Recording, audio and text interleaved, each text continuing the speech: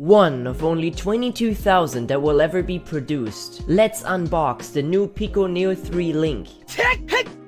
Woo! Clean! Yes, was a good boy. Yeah, that was uh, almost satisfying.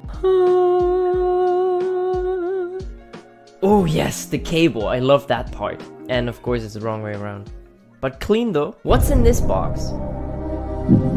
Ah, of course I opened it the wrong way around. Let's just grab the headset, forget about that. Ooh, clean! And it's also lighter than the Neo 3 Pro.